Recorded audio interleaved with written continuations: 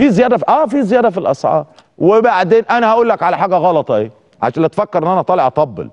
أصل ال ال الفرح ما هوش ناقص مطبلاتية. الفرح مش ناقص مطبلاتية. في ناس كتير بتطبل.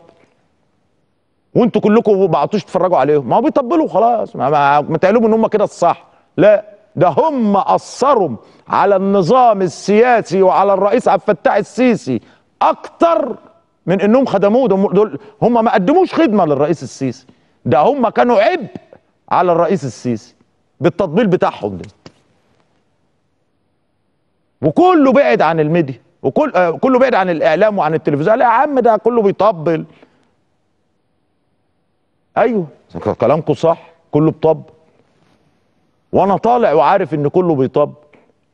ولو كنت طالع أطبل كان زماني قلت يعني هو الفرح ناقص مطبلاطيه ما البركة في اللي بيطبلوا إنما أنا مش طالع أطبل. أنا طالع أقول كلمة حق.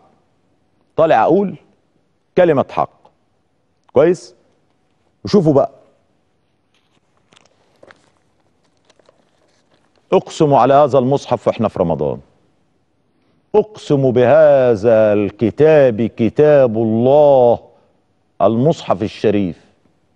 حضراتكم لو ما سمعتوش كلامي وصدقتوه وأمنتوا بيه وعملتوه لا هتشوفوا أسود أيام حياتكم. أنتوا دلوقتي بتعملوا الآتي.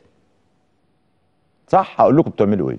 أنتوا دلوقتي عمالين تصوتوا علشان كل السلع أسعارها ارتفعت وفي زيادات. مظبوط؟ وحياة كتاب الله لو واحد فيكم نزل الشارع لما هتلاقوا السلع أصلا.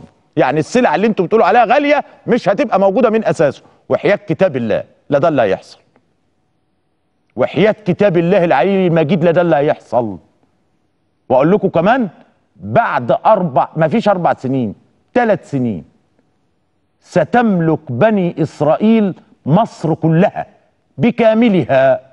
وأقسم بالله العظيم وأقسم بالله العظيم وأقسم بكتاب الله إن ده اللي أنتوا هتشوفوه.